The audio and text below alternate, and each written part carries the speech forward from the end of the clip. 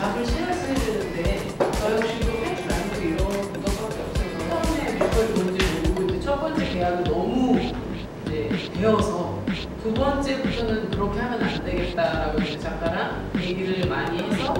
연출 도구는 참 많지만